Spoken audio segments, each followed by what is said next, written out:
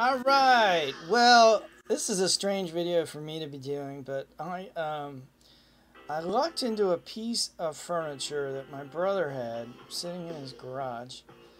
And, um, it's sort of like a printer table, uh, but this one has two shelves on it. And, um, you can stick stuff down below, like at this point I have like another Cisco phone, actually it's a Polycom phone. Um, and you can put before I used to have two additional switches mounted in here, but I've taken them out.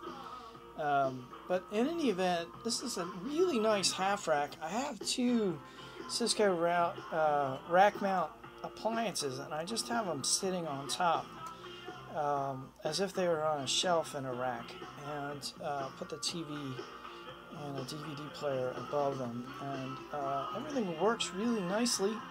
Um, it's a really light rack, and I can pick it up and move it around um, without too much work. Uh, so, certainly, this isn't recommended for everyone, but this particular room is locked, uh, so it's only me playing with it. Uh, if you have a similar environment at your house and it's uh, kin friendly, uh, then certainly this is a great play as well. So, uh, my little black beauty here uh, lightweight furniture probably supports 500 pounds uh, and certainly sufficient for a Teleworker Pro. Thanks.